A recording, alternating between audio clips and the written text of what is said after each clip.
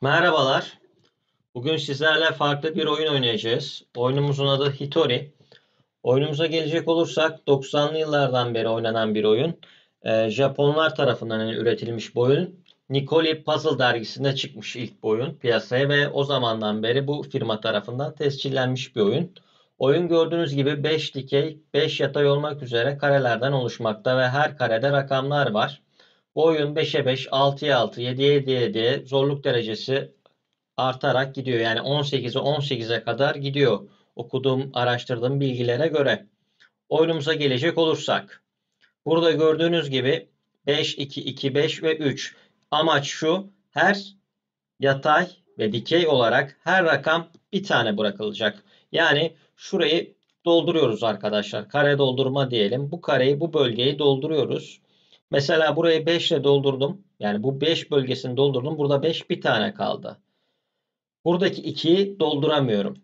Nedenine gelecek olursak bir kural da şu. Dolduracağım bölge en az bir kare beyaz bölge diyelim şu beyazlıklara. Beyaz bölge boşluğu olacak. Yani bakın şu şekilde doldurabiliyorum. Bu doldurduğum bölgelerde hükümsüz pasif oluyor. Yani artık buraya doldurdum ya 5. Burada bir tane 5 var. O da bu. Bu kalıyor tabii. Şimdi e, bir diğer kurala gelecek olursak diyelim ki burayı bakın 5 doldurmuştuk. Buraya 2 veya 5 dolduramazdık. En az bir kare boşluk kalacaktı. Bir de şu şekilde kapatamıyoruz arkadaşlar. Mesela 5 çapraz olarak doldurabiliyoruz bu arada. 5, 1, 3 bu şekilde gidebiliyor. Fakat 5, 1 ve şu 1'i de kapattık diyelim. Ben şu an hani kuralları anlatıyorum size.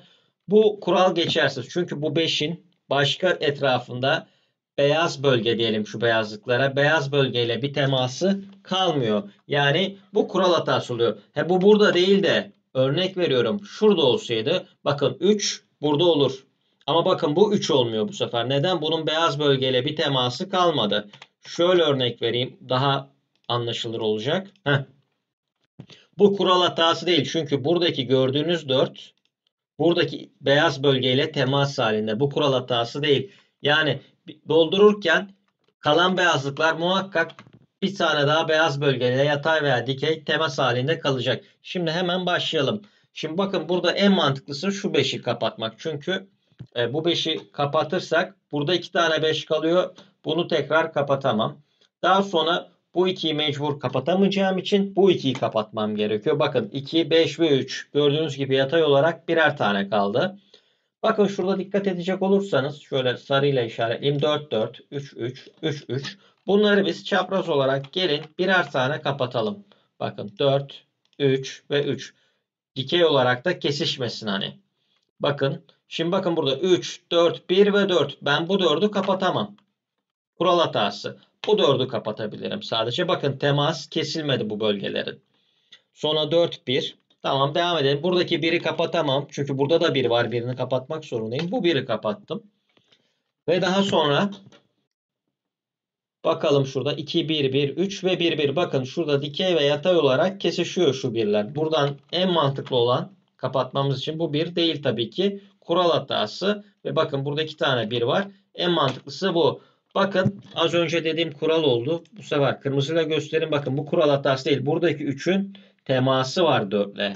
Yani eğer bu da kapalı olsaydı siyah olarak kural hatasıydı. Bu şekilde işlemimiz doğru mu? Bir kontrol edelim. Bakalım. 2, 5 ve 3. E, yatay olarak birbirini kesen rakam yok. Aynı rakam yok. 5, 1, 4, 3. Bakın 5, 3. 2, 1. Bir problem yok. 4, 3.